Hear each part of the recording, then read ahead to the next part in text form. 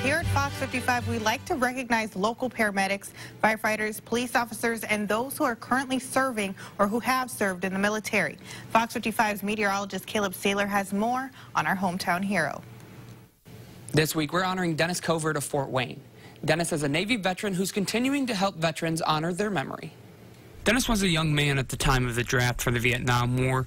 At only 18 years old, he made the conscious decision to enlist in the Navy rather than be drafted. The Army offered stuff and the Marine Corps offered things. Uh, the Navy just seemed like uh, a, good course of action at that time. So. After his training, he was aboard the USS St. Paul, the ship that holds the record for firing the most rounds of any ship during the Vietnam War, providing support to ground troops.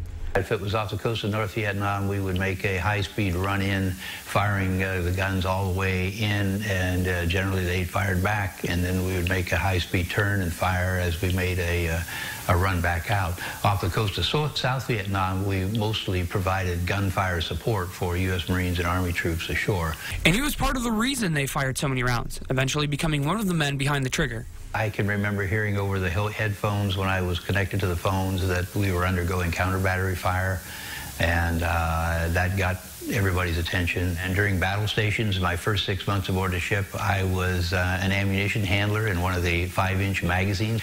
And then uh, the second six months, I was promoted where I actually uh, pulled the trigger that fired the five-inch gun mounts. He spent two years aboard the ship, and once he was relieved of his duty after having received various medals for his time at war, he went to Ball State, graduated, and worked for Merrill Lynch in Fort Wayne for 40 plus years. Thanks to his interest in military history, he got involved with the honor flight of Northeast Indiana back in 2010 as a guardian and worked his way up to president.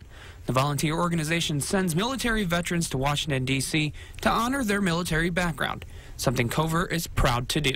I sometimes think in my back of my mind, uh, when I was a guardian, I was having fun. Now I'm having a lot of work, but I'm still having fun. It's a good experience, and I wouldn't trade it for anything. Uh, the Honor Flight is probably one of the greatest programs that was ever created. For Hometown Heroes, I'm Caleb Saylor.